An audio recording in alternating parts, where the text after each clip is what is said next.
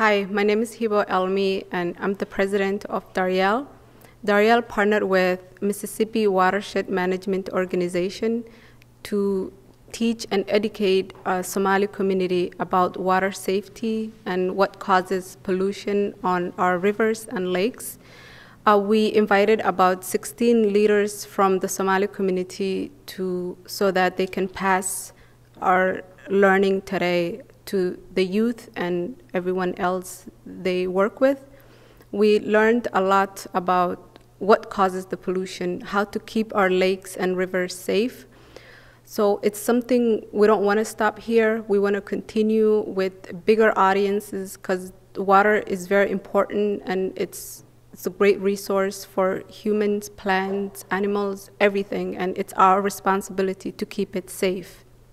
My name is Tammy Schmitz. I'm here today with the Mississippi Watershed Management Organization, where I do stewardship and community outreach for this community.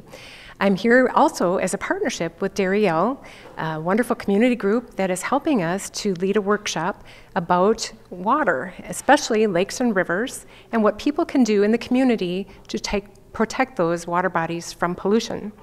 So what's very exciting is we are getting a chance to meet with many Somali leaders and learn from them what they are interested in about lakes and rivers, as well to share with them information about actions we can take in the community that will help keep pollution out of storm drains where water like rain and snow melting will flow with those pollutants into rivers and streams without being filtered first.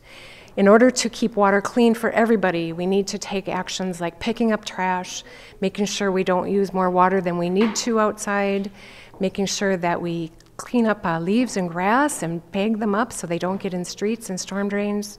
And several other actions like those can help keep water cleaner as it flows through the storm drain system into the river, which of course is a major resource for all of us. It's a place that we get our drinking water in Minneapolis, and although it's cleaned well, we certainly want to make that job as easy as possible for everybody. And we want to pass down the river as clean a water as we can.